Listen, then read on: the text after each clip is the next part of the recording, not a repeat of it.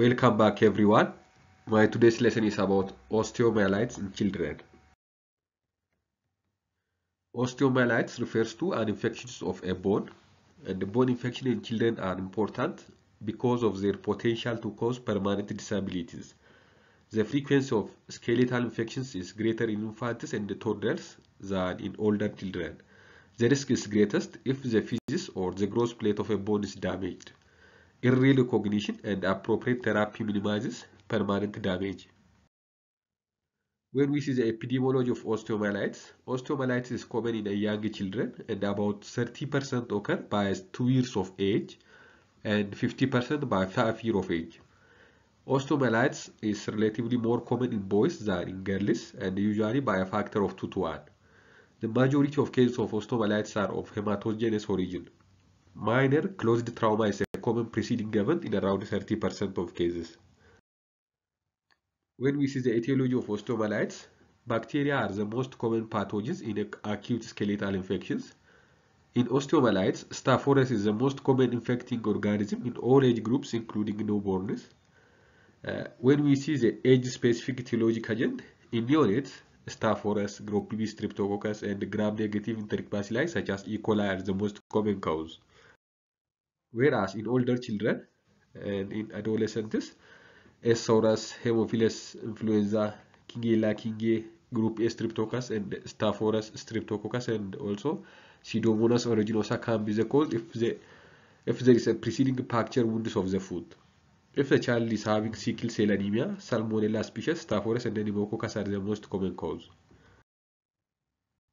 When we see the risk factors for having uh, osteomyelitis, sickle cell disease, immunodeficiency, sepsis, minor trauma coincident with bacteremia, indwelling vascular catheters, and chronic hemodialysis uh, with vascular access is the most common risk factors. When we see the pathogenesis of osteomyelitis, uh, microorganisms can be introduced into bone in three ways, but the, uh, the most common is hematogenous delivery. The other two mechanisms are either direct inoculation or local invasion from a contiguous infection. Uh, bacterial deposition in the metaphysis or endothelial cells permit bacterial passage and a sluggish blood flow in this area. And phagocytes migrate to the site and this causes inflammatory exudates at metaphyseal uh, site and causes metaphyseal abscess. And then proteolytic enzymes and toxic oxygen radicals and the cytokines causes uh, decrease in oxygen tension and the pH, osteolysis and tissue destruction. Uh, this causes uh, via Haversian system and the Volkmann's canal exudate split to the subperiosteal spaces. This is the uh, mechanism by which bone damage occurs in osteomyelitis. Uh, in newborns, thin cortex and the loosely applied periosteum are poor barriers to the spread of infection. Nutrient metaphyseal capillaries perforate the epiphyseal growth plate and the capsules of the diarthrodial joint frequently extends to or is slightly distal to the epiphyseal plate. So joint involvement is more common in neonates. Uh, in older infants and toddlers, the cortex becomes thicker and the periosteum slightly more dense, and the metaphyseal capillaries atrophy as the epiphysis becomes ossified and a distinct physeal plate is formed. Uh, this distinct physeal plate is formed uh, mostly starting at the age of 8 months and it is completed at the age of 18 months. This spread of infection to the joint is unusual in older infants unless the metaphysis is intracapsular as uh, occurs with the radius and the humerus in the elbow and the femur in the hip uh, respectively. The metaphyseal cortex is considerably thicker with a dense fibrous periosteum in children and adolescents and the infection is more contained and rarely ruptures and spread to the uh, outer cortical lamella. Uh, the most common bones that are involved are long bones and long bones are principally involved and the femur and the tibia constitute almost half of the cases and upper extremity account for one-fourth of the cases and flat bones are less frequently or less commonly affected. Usually single bone involved but in neonates two or more bones are involved in half of the cases. Uh, regarding the clinical manifestation of osteomyelitis, the signs and the symptoms are highly depend on the age of the patient and the earliest signs and the symptoms are often subtle. In neonates, constitutional symptoms are frequently mild and they exhibit pseudo-paralysis or pain with movement of the affected extremity like when changing diapers. And half of neonates do not have fever and they, they may not have uh, they may not appear ill at all. And they, uh, most of them continue to feed well. In older infants and the children, uh, older infants and the children are more likely to have fever, pain, and the localizing signs such as edema, erythema, and worms. And with involvement of the lower extremities, limp or refusal to walk is seen in approximately half of patients, and tenderness, swelling, and redness appear at the site of the uh, infection. Uh, regarding the duration of infection, uh, in acute case, typically acute osteomyelitis has gradual onset over several days to one week, whereas subacute one is uh, it is associated with longer duration of symptoms, weeks to months, and in subacute case, they might have a Brody abscess with radiographic lucency and the surrounding reactive bone. And in chronic case, uh, signs symptoms of bone inflammation have been persistent for at least two weeks, and there is radiographic evidence of devitalized bone, and they develop after major trauma or surgical procedure, and inadequate treatment of acute osteomyelitis also uh, predisposed for chronic osteomyelitis. Regarding diagnosis, uh, we might send blood culture aspiration from for gram stain culture, CBC Wills differential, ESR and CRP, which are very sensitive in bone infection, uh, but they are non-specific and they might be normal in the first few days of infection and important in assessing response to therapy and identifying complication. So ESR and CRP are mainly used to uh, check for response to therapies and for diagnosing osteomyelitis. The other diagnostic modalities for osteomyelitis radiographic evaluation. Uh, the first one is plain radiograph. Radiographic changes that are characteristics of osteomyelitis include uh, sclerosis indicating chronic infection. And uh, most of the time within 7 to hours soft tissue swelling appears. And after 5 to 7 days periosteal reaction is seen.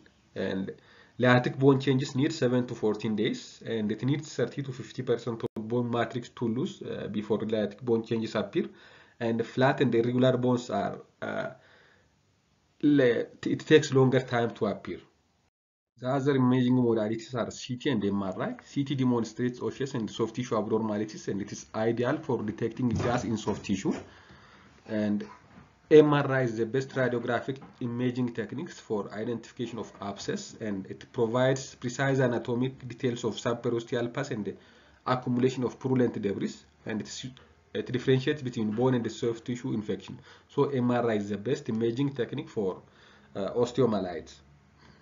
Uh, radionuclide studies are valuable if multiple uh, focus of infection is suspected.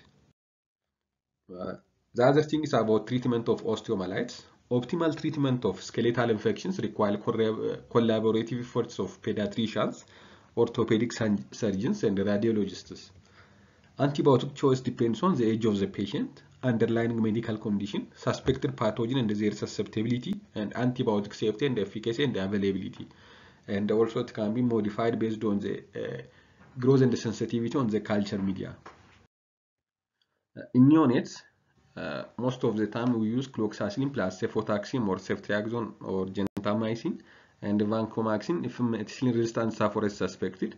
And beyond the neonatal age, cloxacillin or clindamycin or vancomycin plus ceftriaxone is uh, mainly used and this is modified based on the pathogens identified on culture and if pathogen is not identified and the patient remains uh, improving antibiotics is continued. If it is not improving reaspiration and the biopsy is needed and other diagnostic uh, probabilities or other differential diagnosis should be considered.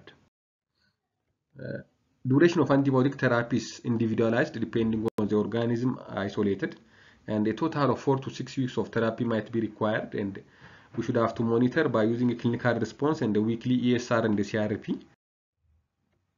And changing antibiotics from the intravenous route to the oral administration is done when patient conditions are stabilized, usually 5 to 10 days of IV antibiotics, and the patient has been afebrile for 48 to 72 hours, and local signs symptoms of infection are reduced considerably, and the peripheral leukocyte counts are normalized, and the ESR has decreased by at least 20%, or there has been 50% decrease in the concentration of uh, CRP and a dose two or two three times that used for other infection is prescribed uh, during the oral route.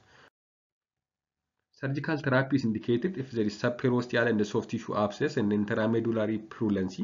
Sequester should be removed and the contiguous infection foci should be uh, adequately and osteomyelitis of the femoral head with hip joint involvement is also uh, another indication for surgical therapy. Regarding prognosis, improvement is rapid when pus drained and appropriate antibiotic therapy is given and failure to improve or worsen by 72 hours require a review of appropriateness of antibiotic therapy, the need for surgical intervention and also we should have to uh, uh, think of other differential diagnosis such as bone tumors and the like. And the CRP typically normalizes within 7 days after start of treatment and ESR typically raises for 5 to 7 days and then it starts to fall slowly, dropping sharply after 10 to 14 days of therapy. Uh, recurrence of disease and the development of chronic infections after treatment occur in less than 10% of patients and long-term follow-up is necessary with close attention to range of motion of joints and uh, bone lengths. Thank you for your attention. Don't forget to subscribe to the channel and to get more uh, videos regarding pediatric problems.